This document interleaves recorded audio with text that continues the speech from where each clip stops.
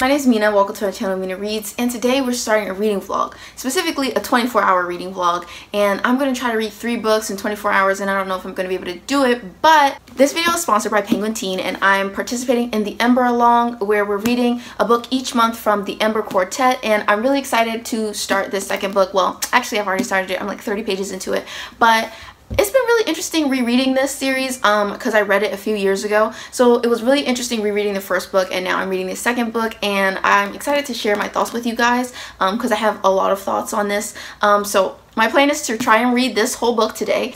And I also want to try and complete You Had Me at Hola by Alexis Daria. And this is a buddy read with Noria from Noria Reads and Cindy from Read with Cindy. I really want to finish this so I can like talk to them about like my final thoughts on like the ending and everything. Um, because I'm a little bit behind. So need to finish this as well. And I'm also reading this comic called Sleepless. So it's like this thing about royalty and the main character is like a black princess and it's about her and like her bodyguard and I'm just like very obsessed with the whole concept of it so I want to start that. And so yeah, those are the three things that I'm working on and I am also starting my online learning. Uh, it's fall semester and I have classes and stuff. So today I have one class at 11 and that class is like an hour and 20 minutes and so that's the only class I have today uh, so hopefully I'll be able to read these books like do my homework and also I need to clean my house so like let's see how much we achieve. How productive can we be in one day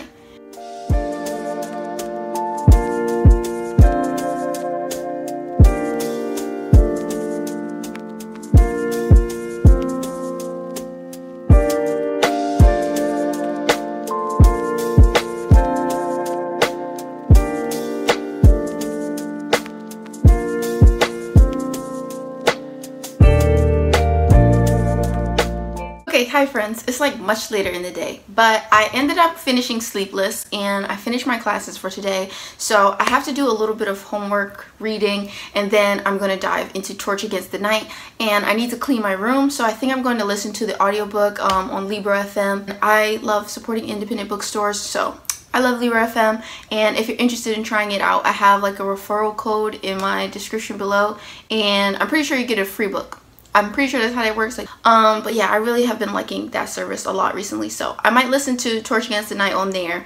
And uh, so I thought that like I should tell you how I felt about Sleepless, and then I want to tell you some of my thoughts about like the Ember series in general before I dive into the second book. So First, let's talk about Sleepless. Sleepless is about this girl named Poppy. So she is like a lady at court and her father was and her father was the king but he recently passed away and so then there's been like a shift in power and her uncle is now the king. And so it's basically about how court is this really like tumultuous and dangerous place for her at the moment because of this shift in power. And she also has this knight and uh, his name is Cyrenic and Cyrenic and her they have like a really interesting relationship. I always love like the royalty and then like their loyal bodyguard trope. I don't know why but I'm really into it. I really like it a lot. And Cyrenic is a sleepless soldier which basically means like exactly what it says that he never sleeps. He's like under some kind of enchantment. And it's just interesting. It's like subtly magical it has some nice like little world building elements to it. And I thought that it was just like really cute. The art style was really gorgeous. I think I showed you guys some clips. But it was just like really pretty and I really really have been loving it. Uh, so I can't wait to read the next volume. Uh, so yeah it's like it's got political intrigue. It's got the bodyguard trope black princess royalty person as the main character. We love to see it. We love to see it. So now moving on to ember in the ashes. So the first book an ember in the ashes uh, i just finished that like last week maybe and I have lots of thoughts about it. So what I'll say about an Ember in the Ashes if you don't know what that series is about it's essentially about this young girl named Laia and she is a scholar. Scholars have been conquered by this other group of people called the Martials and so the scholars don't have that many rights and um, at the beginning of the story Laia's family is raided by the Martial uh, military and so they all are like you know murdered. One of her family members Darin he ends up getting like taken away to prison and so Laia is struggling to find him and figure out a way to save him. Um, and she's really racked by like survivor's guilt because she's one of the only people in her family who survived and like evaded prison. So she ends up going undercover as a spy at this school called Blackcliff where they train the military soldiers for the Martial Empire. And she ends up going there trying to get some kind of information about like where her brother might be. Also follows this other character named Elias. And Elias is essentially like a child soldier. And so he's an adult now. But he's been raised as a child soldier by the Martial Empire. And he is a very moral person and he really doesn't believe in killing which is basically completely opposed to the fact that he's a soldier. So it's really about him like grappling with his own personal morals and like the doctrine of his people the martials. And i think that it's interesting to see how his and Laia's stories connect and like how they meet and everything like that. And i think the story is really like fast paced and um I really appreciate that and I really like Laia especially as a main character because I think that she's just really interesting. I feel like this is something that people have been saying for years about the Ember and the Ashes series but I just really do like the fact that Laia is really like an everyday girl and she's just really scared. She's not a warrior and but she still doesn't let that prevent her from like being brave and doing what she has to do for her family like i really appreciate that about laia a lot that's my like thought process going into this second book because we have elias and laia their storylines have really intersected and they're now on the run with one another and I won't give you too many spoilers if you haven't read the first book yet. But as of right now, they're currently on the run with each other. So do with that what you will. And uh, I just think that it'll be interesting to see how that works and how Elias's like morality will play into this escape that they have planned. And also they introduced another point of view with this character named Helene. And I do not like Helene at all. So we're to see how that goes. And I'll keep you updated.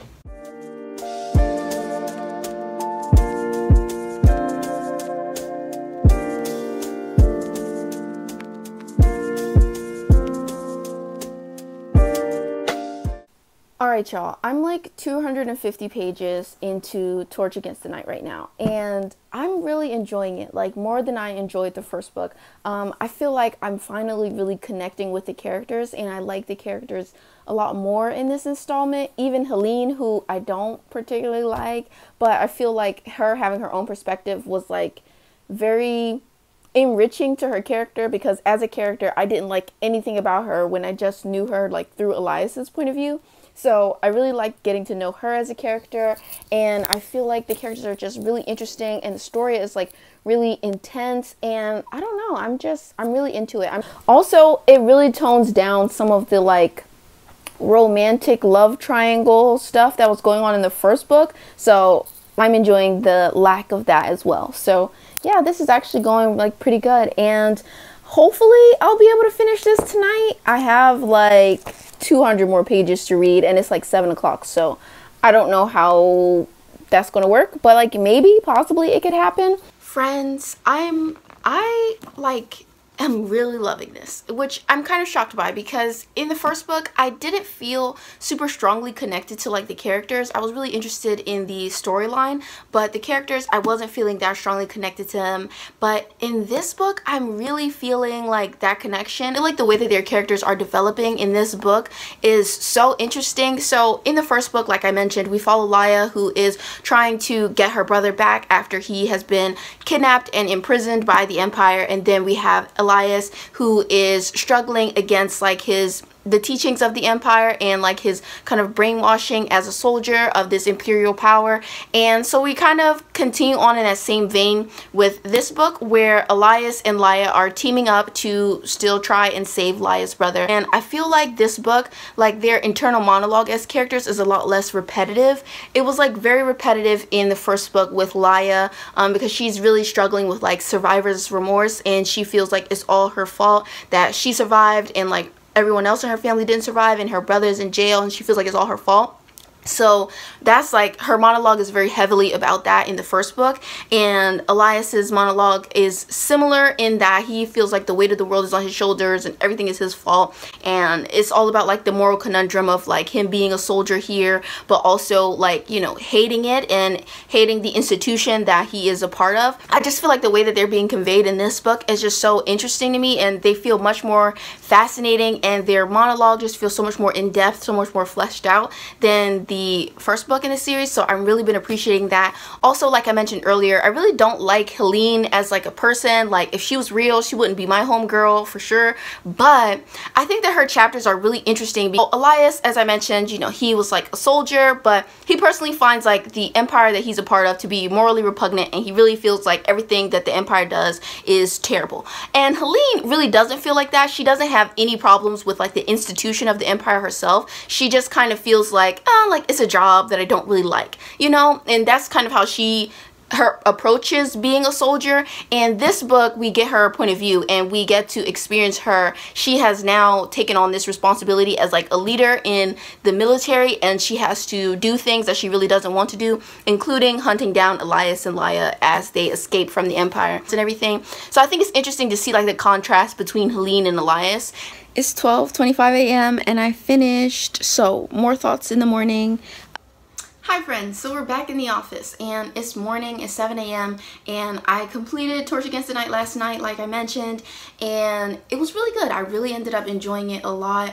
Um, like I said, I really loved the way that the characters developed in this sequel. There were definitely a lot of like oh shit moments in this book that was very interesting so I'm intrigued to see where the story goes but honestly i have no thoughts like i have no idea where the plot is going to go from here based on some of the like reveals that happened in this book. So I'm struggling to conceptualize like where the story is really going to go, but overall I definitely um, am like interested in continuing the series and I really appreciated this so I'm going to give this book four stars. Um, I want to mention some stuff that I personally didn't like about this installment. So one thing is the world building. I really had hoped that in this book the world building would be expanded a bit more and I really feel like this series um, I'm not, it doesn't feel grounded in like a particular place. Like I feel like these people, it, eh, they don't have like a culture to speak of. I kind of just wish that there was like more culture and stuff like that. Um, infused in the world building because I just feel like there's nothing particularly distinct about the world that the author has crafted.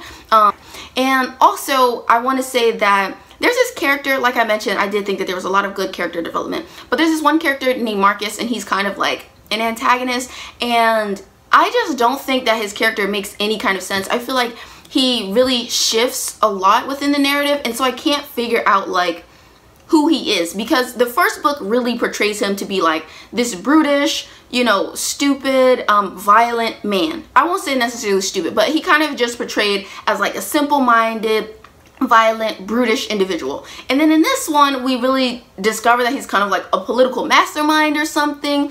And it's just, to me, it's not all, it's not all coming together. I feel like he doesn't feel like a fully fleshed out character. And I, and I wish that his characterization was more consistent. But yeah, so hopefully um, some of that stuff will get cleared up in later books. But yeah, I pretty much enjoyed it. I liked it. It was cool. Um, so, it, like I said, it's like 7.15 right now. I need to do, whoa, I need to do a reading for one of my classes um, that's happening later. And then I'm going to get into You Have Me at Hola. And I have a lot of thoughts about this, so we need to talk about this book too. Like, we need to talk. These characters are driving me to drink. So, I finished these last, like, 70 pages about two hours after the 24 hour mark. So like, hate that for me. We failed step one, but Child, getting through these pages was a fucking struggle. Let me tell you, I struggled so much with this book. I wanted to love this book. Like, look at this cover. This is one of the most stunning covers I've ever seen. And I was so, so excited to read this book. I've been excited about it for months. And I wanted to love it so bad. And I just did not love it. I didn't. I feel horrible. Like, I feel crushed by the fact that I didn't love it. But so anyway, let's talk about what this is about. So You Had Me at Hola by Alexis Daria is about these two characters, Jasmine and Ashton, and they're both um, Puerto Rican actors, uh, and they are recently starting this new project called Carmen in Charge at this big streaming service, and this could be the next step for both of them in their career. So it's like a really important thing. They have this awkward first meeting. It's just like, it's basically, the concept is like them being co-stars and having this really awkward energy and having to navigate their like disastrous um, first meeting and how to generate like on-screen heat while they have a really like frosty and um, awkward relationship in person. And I'm gonna be honest it definitely is frosty and awkward for a good amount of this book because the main dude Ashton he is like very very distant.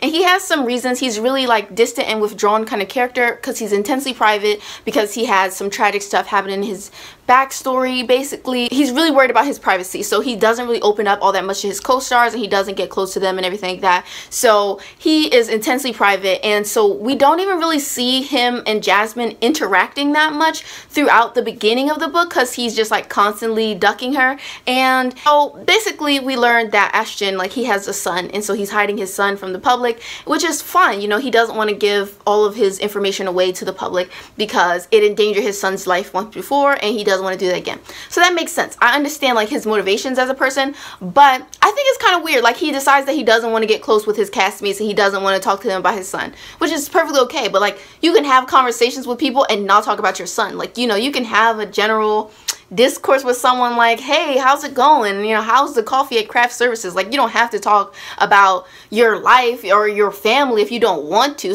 So another thing that's going on in this story is that Jasmine, she has recently had this really like public breakup with this rock star at the beginning of the book. And so she's getting all this bad publicity because of it. And she's like really upset about it and like whatever. And it makes sense because, I mean, they're saying mean things about her. So it makes sense that she's upset about it, that it's something that's really bothering her, causing a lot of anxiety for her. And and she's really worried about her career because she doesn't want to just be known as that person who gets into like bad breakups and stuff. She wants to be respected as an actress, which I really appreciated. But I felt like it was really strange to me that they never talk about like what kind of publicity steps her and her team were taking to handle the fact that like she was literally being slandered by this ex-boyfriend. Like he was in the news like acting like she was an obsessive stalker low key and I felt like it didn't make sense to me that there, we never saw them like doing any damage control for that. They just kind of let him control the narrative that she was like some horrible, you know, obsessive ex-girlfriend. And I thought that was just really strange. Like it didn't make a lot of sense to me, especially because he, him and this situation is something that's continually brought up. So it never made sense to me why they were never like handling it. Like, I'm going to be honest with you, I just didn't feel that much chemistry between these characters. I didn't think that they had that much chemistry, and I feel like the book really enforces the fact they don't have any chemistry for like a lot of the book because it's just like very awkward and weird for most of the beginning. And then in the middle of the book when they're finally interacting and like you know having moments together it's just like this really rapid development from like awkward we never even talk to each other unless we're filming a scene to the next moment he's balls deep giving her back shots in front of a mirror and they're in love. It's just like well okay? Like what? I, for me personally there was no chemistry and I don't necessarily like hate insta love but I just think that it didn't work for me because I didn't really feel like these characters had that much chemistry. I didn't feel like they had that much personality or that much like depth and I also felt like the writing in this I just didn't really love it. Like I felt like the author was definitely telling me a lot of stuff instead of showing me. I felt like the author would kind of summarize events and summarize conversations or moments that the characters have together instead of really being like in the moment and showing us all of the like conversations or cute moments that they have. It all kind of felt like a little montage of relationship development instead of like actual scenes of it. It's for me, it just it just didn't work. I'm giving it two stars. I was pretty bored throughout. Um, there's also this moment, I, this is kind of like a spoiler spoiler warning or whatever. But basically there's this moment where Jasmine and Ashton they have broken up and Jasmine just feels like that's going to be so awkward and she can't continue to work on the show having to be his love interest and like co-star. It's just not something she can do anymore. So she decides that she's going to quit the show. But like her quitting the show she is the show. She's the main character. The whole show is about her and she's going to quit it and she has like a three year contract with the show and she's just like yeah like fuck it. I'm getting on a plane to LA and it's like ma'am, what are you talking about? And like, obviously all that doesn't work out and everything it works out and they're happy and whatever blah blah blah but it was such an annoying moment and it made me like low-key hate her character because her actions like her doing that she could have cost so many people their jobs. It was just it was just frustrating. I just felt like both of these characters they just had like worms for brains. They just weren't making sense. And like with the whole conflict portion. It wasn't no kind of sense being made. Starting to think that my sense of humor is just broken and maybe that's possible because this shit do not be funny to me. Like books be like, this is a rom-com. This is so fucking funny. And I'm like, where are the jokes? Where are they? Like I don't understand it. I don't get it. It's just Ooh, mm, well, to talk about some stuff that I did like, I do like what this book has to say about like consent in the film industry. Um, there's this moment where they talk about having an intimacy coordinator on like filming sets, and I thought that that was really interesting. Um, I also think that it does some really nice stuff when it comes to family. Jasmine, she has a really complex relationship with her family, but she has um, a really close relationship with her grandmother and her cousins, and I thought that was really sweet. And also Ashton's relationship with his son and his father was really important, and I like those aspects as well. I definitely feel like those aspects of the story are what really shined. This was a buddy read with Noria from Noria Reads and Cindy from Read with Cindy. So I really liked reading it with them, even though I didn't love this book. I really liked uh, talking about it with them. And I think Cindy gave it two stars as well because it just, uh, I just wanted to love it. I, $12. I'll never get it back. So anyway, that was my attempt at a 24 hour reading vlog. I kind of failed it, but I still think that it went like relatively well because I found a new comic that I really liked. I loved Sleepless, really enjoyed Torch Against the Night, and while I didn't really love You Had Me at Hola, I did appreciate buddy reading it with some friends. So like at the very least there was that um thank you all so much for watching this video i will see you all in my next one bye you guys. Like comment and subscribe. And a special thank you to all of my wonderful patrons